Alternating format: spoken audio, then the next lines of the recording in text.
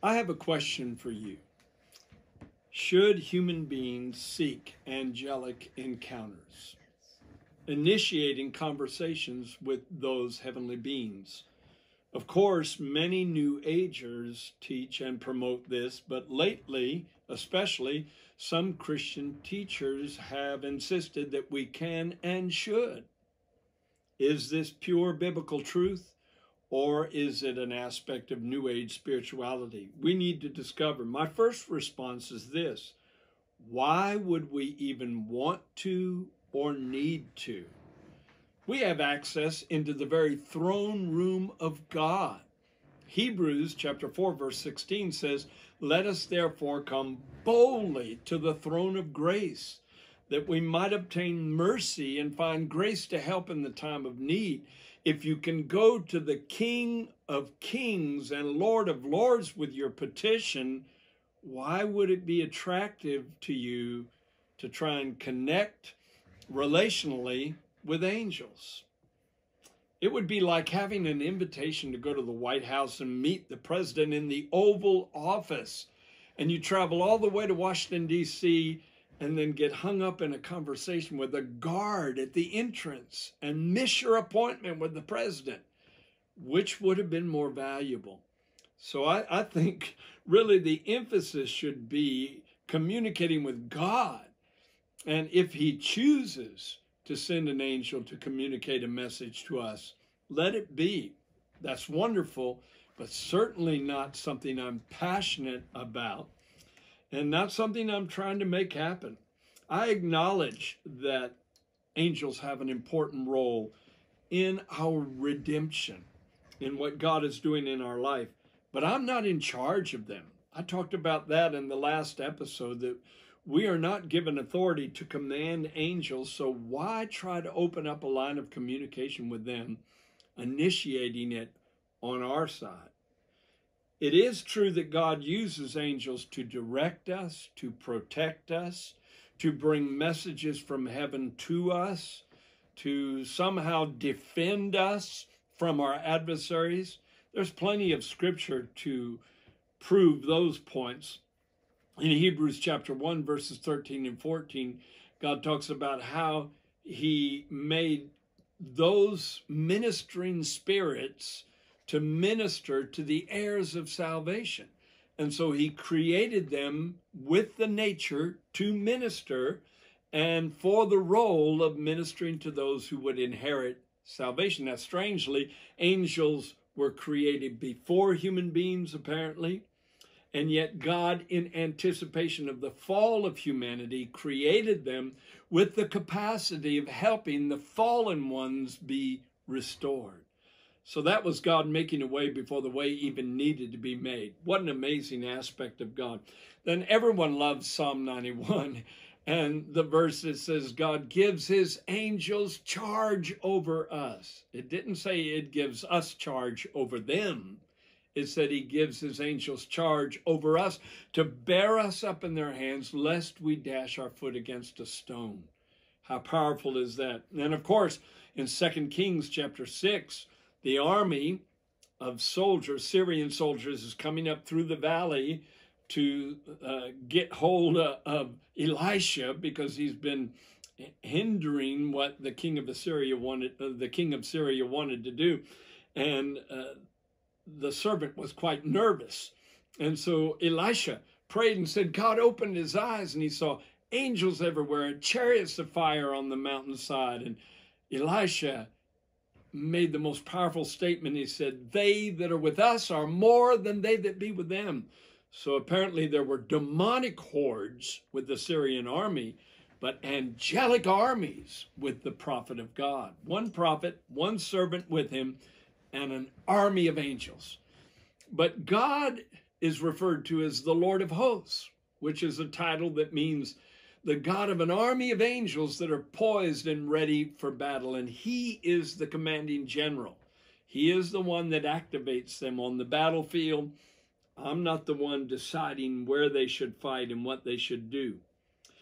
The Creator, though, has intentionally made angels miraculously and amazingly capable of shuttling back and forth between the spiritual world and the natural world, the heavenly realm and the earthly realm. They have that amazing capability, even though they are usually invisible to us. However, sometimes they are seen. In fact, Jesus told Nathanael, after he recognized that he was the Son of God, he said, You'll see greater things. You'll see angels ascending and descending upon the Son of Man. Well, that had kind of a double meaning because, yes, it meant that there would be great angelic activity around Jesus wherever he went. Why would that be necessary? Again, this world is in warfare, and angels are very involved in spiritual warfare. And Jesus made a huge advance for the kingdom of God everywhere he went. And there's demonic opposition to the advance of the kingdom of God. But there was also a subtle reference too, because it goes all the way back to Genesis, where Jacob had his famous dream where he saw a ladder extending from earth to heaven and angels of God ascending and descending on that ladder. So he assumed that spot was the gate of heaven. That spot was some kind of portal into the supernatural world. Well, it wasn't so much that spot that Jacob called Bethel, it was the fact that he was chosen of God to be part of a plan of redemption that would ultimately bring the kingdom of God fully into this world. And when Jesus said angels would ascend and descend on him, maybe it was his way of implying that he was Jacob's ladder that Jacob's ladder was only a symbol prophetically of something even better to come through Jacob's seed. Abraham, Isaac, and Jacob were the patriarchs of Israel, and then from Israel, from the tribe of Judah, came forth the Lord Jesus Christ. So he's the true ladder, the connection, the door to the eternal realm. And wherever you find Jesus, you find angelic activity. And so if Jesus is in your heart and life, then there should be angels ascending and descending over your life. Jacob didn't try and initiate a conversation with them, and neither should we. If God chooses for them to speak to us, that's all right, but it's not a choice we should make. Now, I don't deny that angels are an important part of our journey through this world. But I have serious reservations about New Age beliefs mingling with Christian doctrine. You can find many, many New Age websites that promote the idea of communicating with angels, and many New Age teachers that focus on that area. And I, I went to one New Age website in researching this that said three of the main ways you communicate with angels are number one, automatic writing where you just sit down and start writing whatever thoughts are funneled through you, and it doesn't distinguish what kind of spirit you may be picking up.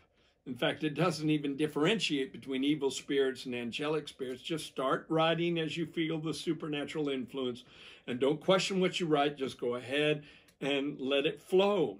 And that way, your angel can talk through you. Well, inevitably, if someone does that, they're going to come in contact with the spirit God which is a demonic spirit impersonating the role of a good influence or a good spirit that would bring good things in a person's life. The second way is initiating conversations with angels just by asking, speaking into the air, and asking those angels to manifest themselves in some way. And the third way New Agers teach to communicate with angels is to look for signs, to pay attention to unique sounds or pay attention to unique smells or tastes, because those are signs sometimes of an angelic presence trying to make itself known, or things like random feathers being seen here and there as a sign that an angel is close by, trying to communicate with us.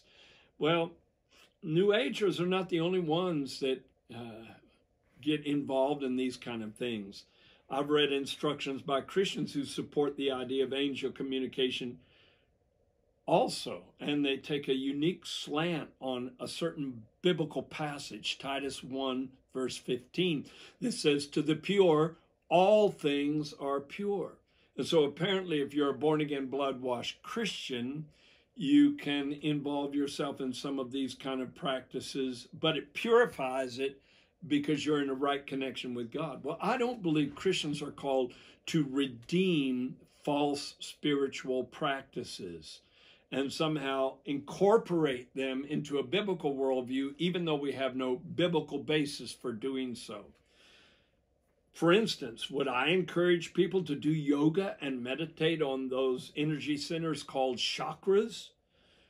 Just uh, be sure to quote the Lord's Prayer while you do it so that you sanctify the process. I shudder at the thought of doing that. When I left yoga and meditation 50 years ago, I never looked back. I never turned back to those practices. Would I encourage people to use angel cards, which are similar to the evil and demonic and dark things called tarot cards in order to get communications from the angelic world? Absolutely not. You don't receive angelic communication through a card deck.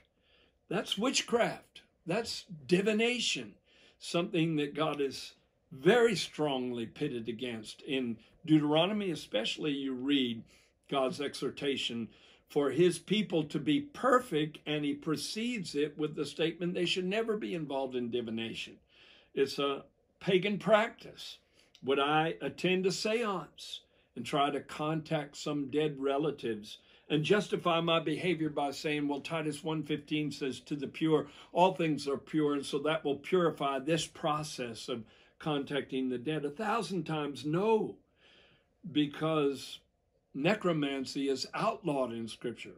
Was God outlawing that practice of contacting the dead because he wanted to withhold a legitimate experience of the supernatural from us? Absolutely not. He was trying to protect us from demonic deception, not just enforcing rules, getting us under his thumb, but building a wall of protection around us by only advocating in the Bible supernatural access through proper means or proper biblical practices. Some charismatics that are really into angelology ask this question where does God say not to initiate angelic encounters. And supposedly they assume, they deduce that if God is silent on this issue, no argument can be offered against it. But I would dare to say that God is silent on the issue of uh, initiating angelic encounters. There's absolutely no record in the Bible where God either commands us to do it or it actually took place where a biblical figure, a historical person in the Bible, initiated an angelic encounter. Now, I know there are some who differ with me, and some uh, are people who I know are genuine lovers of God and they love truth, they love the Bible, they want the real, they want the supernatural. They're not cessationists, they don't believe all the supernatural stuff is to be discarded. So many of them really have a passion for God and a passion for the truth, but they would dare to insist that because there's no biblical record that says we shouldn't do it, then we can.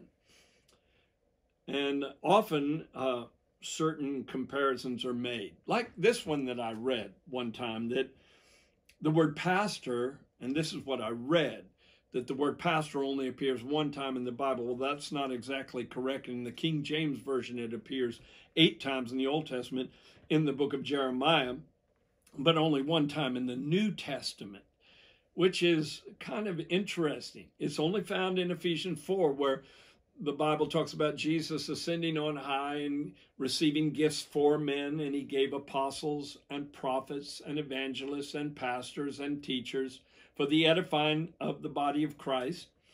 And that's the only place where you find the word pastors. However, the Greek word that is translated pastors is poimen. That's P O I M E N. Poimen is how it's pronounced. And that word, though it's only found as pastors one time, it's translated into the word shepherd or shepherds numerous times in Scripture. In fact, the shepherds that were in the fields watching their flocks, the night the angel appeared and said, Unto you is born in the city of David a Savior who is Christ the Lord. Those shepherds were indicated by this Greek word, poimen, which is translated pastors, because a pastor is a shepherd. In fact, when Jesus said, I am the good shepherd, the word was poimen. He could have easily said, I'm a good pastor, because a good pastor is someone who shepherds his flock, who is in touch with his people, who watches over the details of their lives.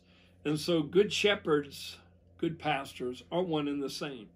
But the point was made that I heard voiced uh, that because the word pastor only appears one time in the New Testament, and the word angel appears 365 times in the Bible. We are not told to communicate with pastors in Scripture, and we're not told to communicate with angels necessarily in Scripture. So, if we shouldn't communicate with angels, we shouldn't communicate with pastors because there's no biblical basis for it.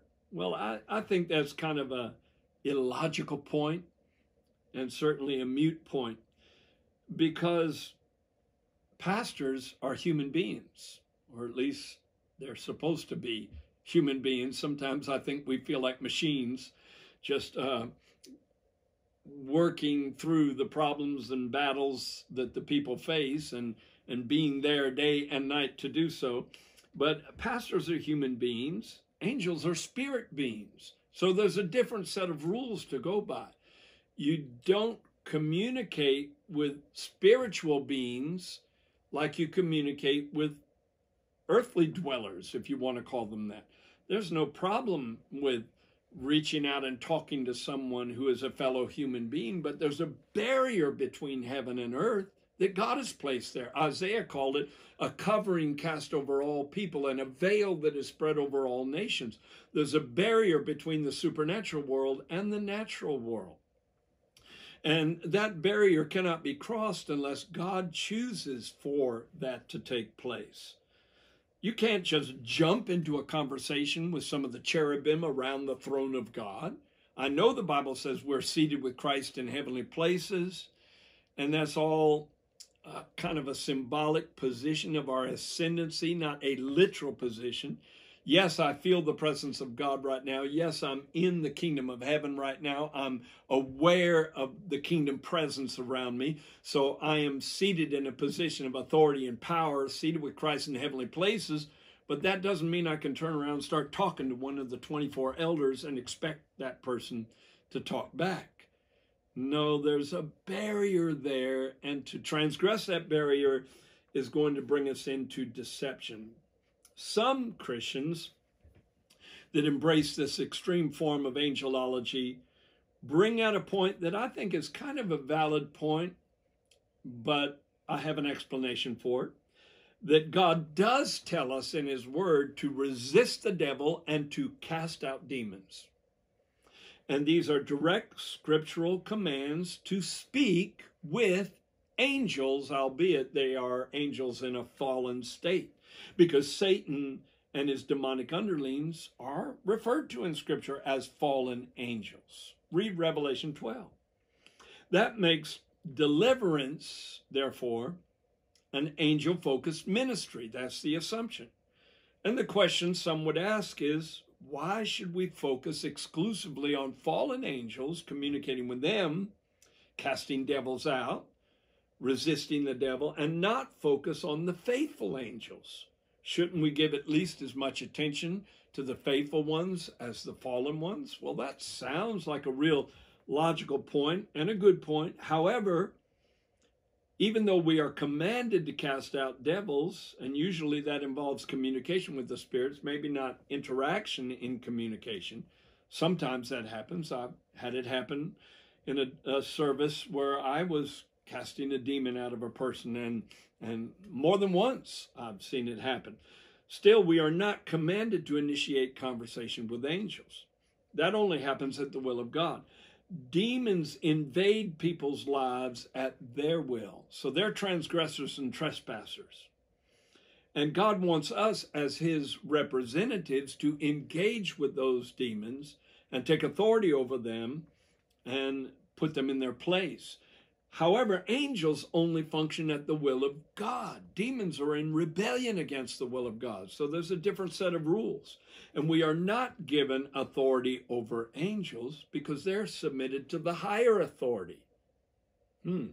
Psalm 103, verse 20 says, Bless the Lord, you his angels who excel in strength and who do his word, heeding the voice of his word. And so if an angel communicates a message to us, and malak, the Hebrew word translated angel, and angelos, the Greek word translated angel, are also both translated messenger. So often they bring messages to us. But again, that doesn't happen because we use some type of mystical approach that opens up the spiritual realm to us so that we can have these angelic encounters at our will. I've seen statements uh, posted that insist that the biblical pattern, especially in the Old Testament, was that those who received angelic visitations initiated the conversation. And I could give you a few examples like Abraham and Lot and Zechariah and Daniel and John the Revelator.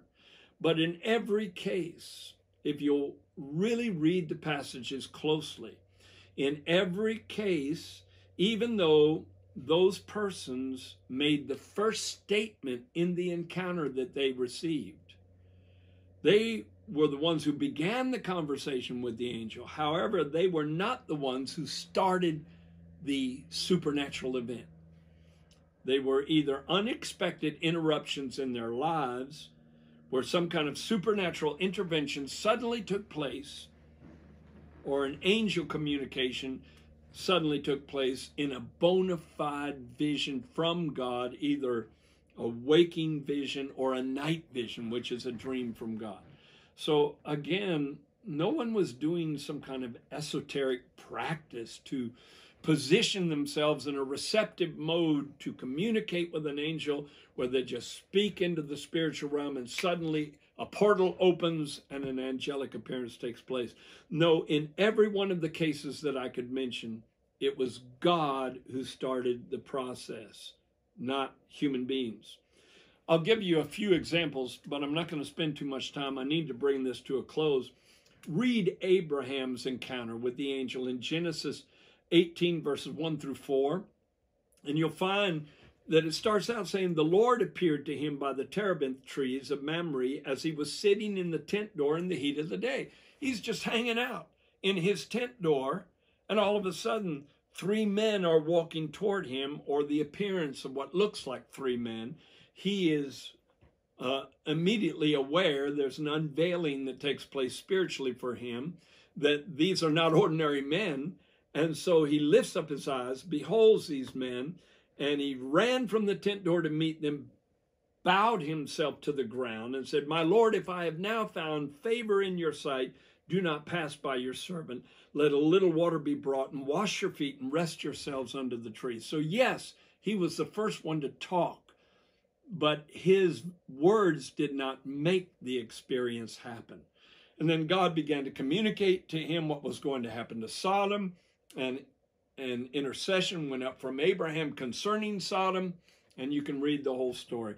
And then the two angels that apparently accompanied the Lord in a bodily form in that visitation to Abraham then went to Sodom to rescue Lot. And you can read about that in Genesis 19. And once again, Lot was the first one to do the talking, but he wasn't the one that planned the trip. He didn't do something to make those angels come to that wicked city. Read it. Genesis 19, verses 1, 2, and 3. Now the two angels came to Sodom in the evening, and Lot was sitting in the gate of Sodom. Once again, he's just hanging out at the gate of the city. He's not involved in some kind of prayerful mode that we know of. And when Lot saw them, he rose to meet them, and he bowed himself with his face to the ground and he said, Oh, my lords, here now, my lords, please turn into your servant's house and spend the night. So he's extending hospitality to them. And he finally insisted strongly enough where they spent the night in his home. And you know the rest of the story how he was rescued from the fiery conflagration that consumed that city. But again, it was God's decision, not Lot's decision, for that communication to take place. Then you can read many encounters in Daniel and Zechariah where, in a visionary state, they may have had this view of an angel and they started the conversation, but it was God who started the vision. It was not a vision that resulted from something they did. And one example is Daniel chapter 7, verses 13 through 18, where Daniel had a vision of one like the Son of Man coming with the clouds of heaven. And he came to the Ancient of Days, and they brought him near before him. And then to him was given dominion and glory and a kingdom, and all peoples and nations and languages shall serve him. And then uh, in verse 15, it said, Daniel was grieved in his spirit within his body, and the visions of his head troubled him. And then he came near to one who stood by and asked him the truth of this. And that angelic individual, that entity, began to explain some of what he had just seen in the vision. So, yes, Daniel was the first one to talk in that exchange of conversation, but he was involved in a vision where he saw the Ancient of Days. It wasn't something self initiated. Over and over again, I can prove that point, but I think I've said enough. One point that I have encountered in all of these angelological ideas is something called godly imagination. And I'm going to end with this, but I believe it's important that I include it because I, I heard this line of logic offered that in Revelation chapter 3, John was shown a door in heaven by Jesus. And at that point, in chapter 3 of the book of Revelation, the vision ends after he sees this door. And John is no longer in the Spirit. And in order to get in the Spirit and begin having another supernatural vision, he uses his previous vision as a stepping stone. And then in Revelation chapter 4, verse 1, John decides to picture a door using his quote unquote godly imagination. He's not in the Spirit, and this is not a vision according to that particular viewpoint. Then, after he primes the pump by imagining a door, then God takes over. And in verse 2, we find out that he's once again in the Spirit. And in verse 2, his godly, tra- his godly imagination is transformed into a supernatural vision, and he's ushered into the throne room of God. You go read Revelation chapter 3 and chapter 4 and see if you get that. Because there's no break. In the original scripture, there were no chapters and verses anyway. There was no dividing barrier between chapter 3 and chapter 4. There were no chapters. That happened much later on as a means of trying to help uh, the study of the Word of God. So, the way we prime the pump spiritually is to imagine something supernatural or angelic because it's proposed that then that ushered John into encounters with angels throughout the rest of the vision in the book of Revelation. And then the imaginary, therefore, blends into supernaturally real things. I don't accept that. In fact, I strongly oppose that. Practices like that are setting people up for deception. I was involved in a charismatic group in the very beginning of my walk with God 50 years ago that was very much into quote unquote seeing in the spirit. We would have five hour prayer meetings every night. And during those prayer meetings, often we would ask each other if we were seeing anything in the spirit realm uh, as we sought God, as we passionately prayed. And now I can look back in retrospect and, and without a doubt say much of what we said we saw was really created by human imagination. And we may have tagged, Thus saith the Lord, to it, but I would dare to say maybe 90% or more was not really under the inspiration of the Holy Spirit. We were sincere. We loved God. We passionately prayed seven nights a week, but we were also misled because we were pushing too hard, so thirsty for the supernatural, so thirsty for the real experience of God that we manufactured it ourselves. I urge you not to do that. So, to sum it up, let me ask two questions. Can we communicate with angels? Oh, yes, we can. In the last episode, I told you about how my wife had an encounter with an angel in a physical form and communicated with that angel. And there are times when people have visionary experiences of angels and communicate with them. I know I have. And so, yes, communication is possible. But my second question can we and should we initiate conversations with angels? Absolutely not. There is nothing biblically to prove to me that that is acceptable. I want truth. I'm very hungry, very thirsty for spiritual and supernatural reality. And I know you are too, or you would not be listening to this podcast. But let's go after truth more than we go after experience. Amen? I believe you'll agree with me.